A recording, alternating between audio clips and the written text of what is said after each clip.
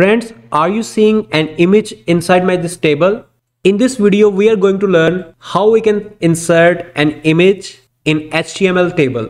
So we will create a simple this type of table and insert an image in a circular shape. So friends, video is going to be more important and before start, I request you to subscribe to our YouTube channel for our regular videos. Let's start.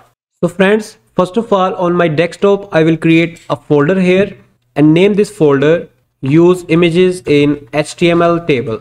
Next, I will open my Visual Studio Code, click on file, open folder and I have to open this folder in my Visual Studio Code. In this folder, I will create a basic HTML file here named index.html and when I will click on go live, I have installed a go live extension to my Visual Studio Code so you can see the output without any delay. So friends, next I will open a Google here and type here person image pixabay male. I will open the pixabay website and from here I'm going to download this image. I will click on free download, choose the resolution of your image and click on download button. I will select desktop, my folder and I will type here my image, save. So friends, you can see that in my project folder, I have an image named myimage.jpg. Now I will create a basic HTML structure here and inside the body element I will type here table table row table head. I will type here product image copy this and paste here three times product name quantity and suppose here I will type here remove. So here I have create four table headings. After this I will create a tr element which stand for table row. And inside this I have to type first of all I will refresh this you can see that these are my table headings and inside this table data I will type here div. You can directly type here image element but I will type here div for some reason which you will understand when I will write my CSS code. And here I will type suppose class is equal to product image. Inside this I will type image element and I have to give type here my image name which is my image.jpg here you can see my image. After this table data closing tag i have to create another td element inside this. Friends i think we should change this to student student and student course. Yes now it is looking relevant.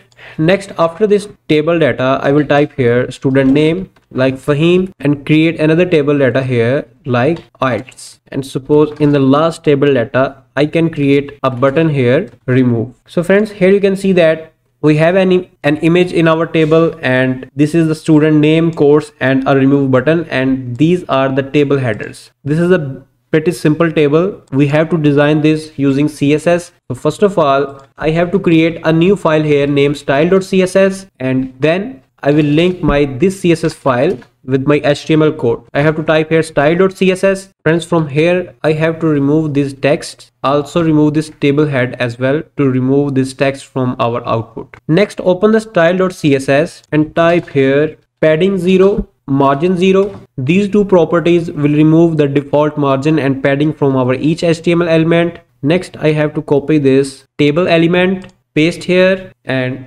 before this we have to type here one more property which is box sizing border box in this universal selector. So type here width 100 percent and border one pixel solid black. Copy this table element paste here. And next copy this tr element paste here. And similarly copy this table head element and paste here. And next copy this table data element and paste here and in this block of code i have to type one css property border one pixel solid black. Remove this border property from here and in the output you can see that our table have this type of beautiful border so next to collapse this border I have to type one CSS property border collapse collapse. Now you can see a single border in our each table row, table data and table head. Next, I have to copy this product image class, paste here and type here width 100 pixel, height 100 pixel, or I can change this to 150 pixel. Next, copy this image element which exists inside this product image class,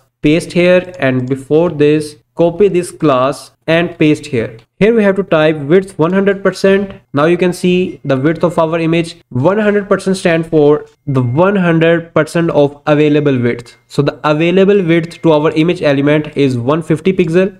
That's why our image have 150 pixel of total width and similarly I will type here height auto. If you want to display this image in a circular way, you can type here border radius 50% and overflow hidden.